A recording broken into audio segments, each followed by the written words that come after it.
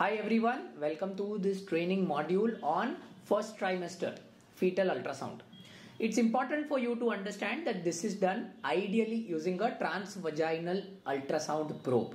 This is a standard 2D scan. You just need to zoom in through the vaginal scan enough such that the gestational sac and the yolk sac as you can see are absolutely clearly visible to you as a part of doing this ultrasound. In this ultrasound, it is important to understand that you identify the margins of the yolk sac. Simultaneously, you look at the size of the yolk sac.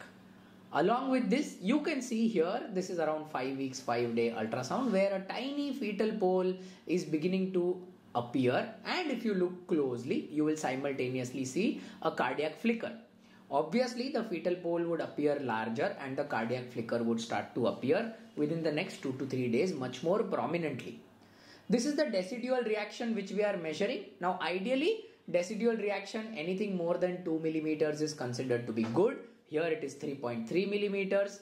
But you should have a vague idea of a good decidual reaction based on your experience of doing a lot of fetal ultrasounds. It's also important to note that along with that you should look at the gestational sac size and the size of the yolk sac. Yolk sac diameter is measured from inner to inner. Here you can see it is 3.6 millimeters. The ideal yolk sac size is between 2 to 6 millimeters at this gestational age.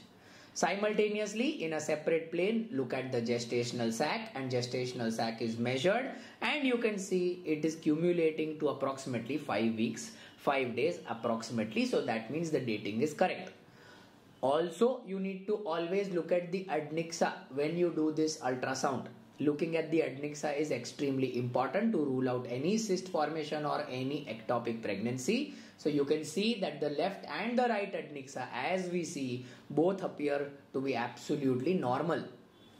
At the end of this, it is mandatory to issue a print of this report. As students, you should remember that if you are practicing in India, PCPNDT regulations and formalities are very very important. So sign form F at the time of doing this procedure prior to this procedure and explain it to the patient. Further questions we shall answer on WhatsApp. Thank you so much.